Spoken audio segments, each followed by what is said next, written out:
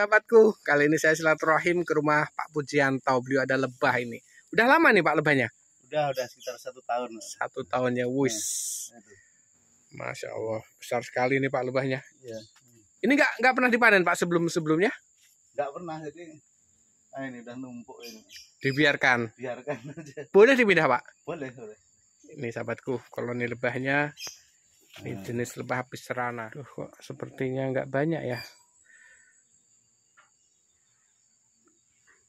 Masih ada. Oke, kita coba lakukan upaya pemindahan sahabatku. Tentunya kita harus membuat asap saat berinteraksi dengan lebah madu. Entah mau panen atau kita melakukan pemindahan. Pembuatan asap atau pemberian asap adalah hal yang harus kita lakukan saat berinteraksi dengan lebah madu. Kecuali dengan lebah trigona, karena lebah trigona tidak memiliki sengat.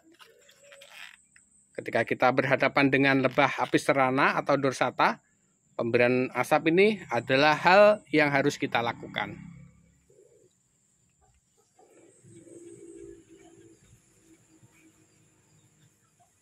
Lebah telah meninggalkan sisiran sarang, boleh kita ambil satu persatu sisiran sarangnya.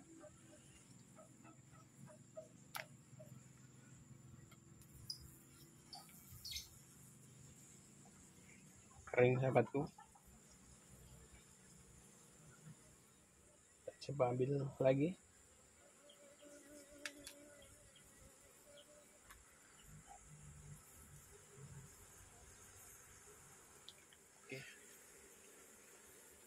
Ketika ada lebah kita asapi lagi.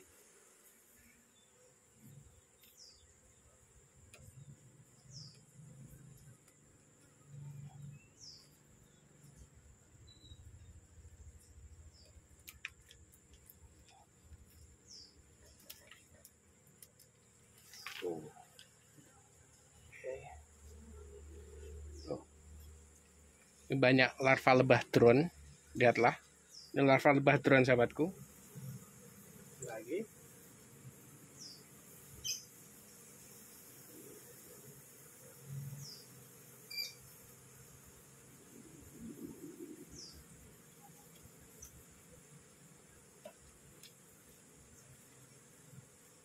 Pastikan dapat pegangan yang pas. Baru kita tarik. Oke. Sisiran sarangnya.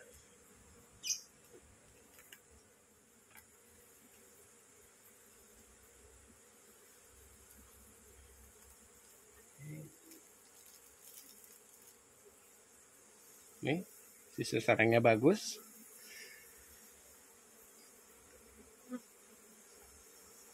Kita ikatkan langsung ya sahabatku ke kotak budidaya. Yang di sini.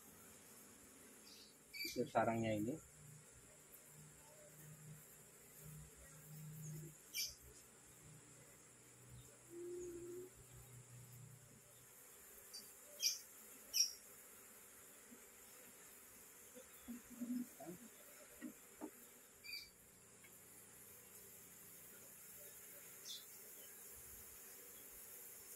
Seperti ini sahabatku.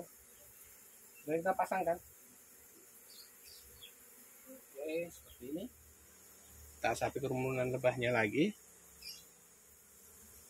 Di sini terlihat pada sisiran sarang ini terlihat sudah sangat-sangat tua keberadaan sarangnya ini. Ini tidak kita pasangkan. Keberadaan sisir- sisiran sarang ini kita buang saja sahabatku. Sisiran sarang ini kita ambil. Intinya tidak usah dipasangkan. Kalaupun cukup satu sisiran sarang, cukup satu saja. Tidak perlu ditambah. Nih.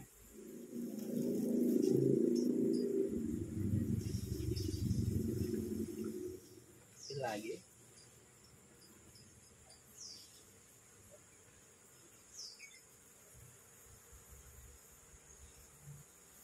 Oke.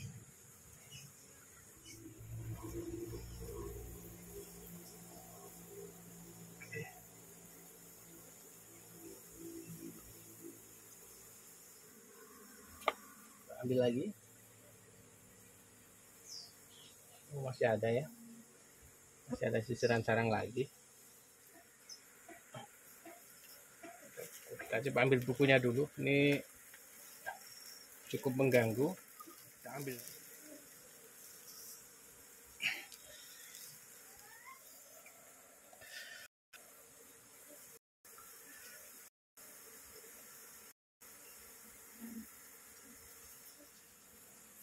ini masih ada satu sarang lagi. Kita ambil. Oke. Sisir sarang terakhir sepertinya. Semua sisir sarang telah kita ambil. Kita tinggal mencari sosok ratu lebahnya. Di manakah keberadaan sang ratu sahabatku? Kita ambil kerumunan lebahnya ini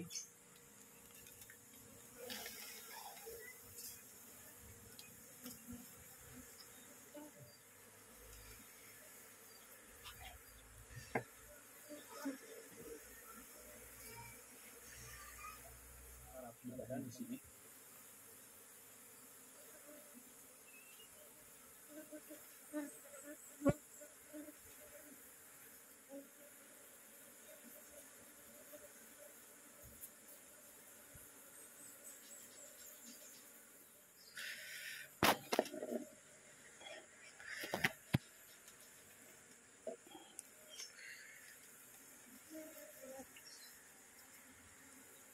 Amati apakah ada sosok ratu di sini?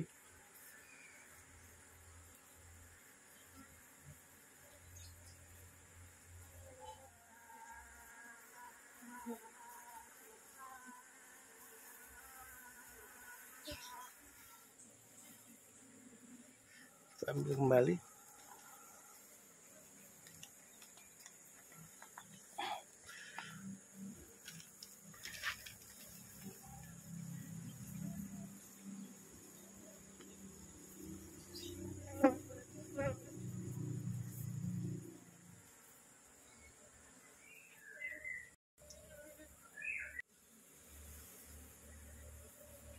saya belum melihat sosok ratu lebahnya. Di manakah sosok sang ratu berada sahabatku